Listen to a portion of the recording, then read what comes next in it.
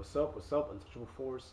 I just have a real quick question for you guys. Have you guys ever had a game that you just had a very bad first impression of, and I don't know, later on you just picked up the game again, and all of a sudden you just started loving the game out of nowhere? Well, uh, for me, my choice is very easy. My my choice is Fallout 3. I, you guys may have seen that I, I, I had picked this up in my last video and I already I, I just finished beating the game. I, I had a save file thankfully right before I finished the game, so I'm just going through the wasteland and just finishing up missions.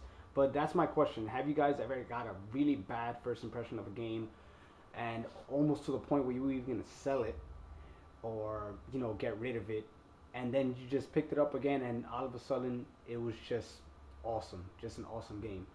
You guys know my choice, just, you know, put your choices in the comment section, video reply, whatever it is. Uh, and there you go. Teleport Force. Peace.